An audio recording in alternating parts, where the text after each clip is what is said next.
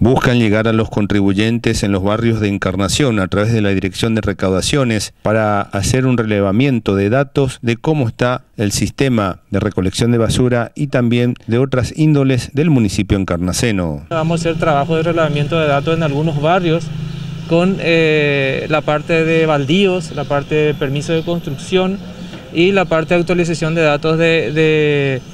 en, donde se hace servicio de recolección de basura también. O sea, todos esos trabajos estamos haciendo como un trabajo de relevamiento de datos, no estamos haciendo notificaciones a los contribuyentes, sí estamos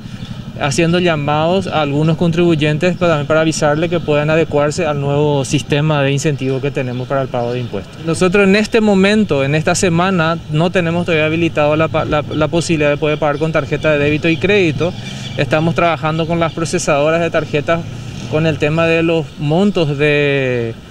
de la parte justamente de lo que ellos nos cobran la comisión, estamos negociando eso también, entonces todavía no cerramos 100% con ellos. Empezamos a cobrar, pero tuvimos que suspender por una diferencia en tema de las comisiones y las legislaciones vigentes también con respecto a eso.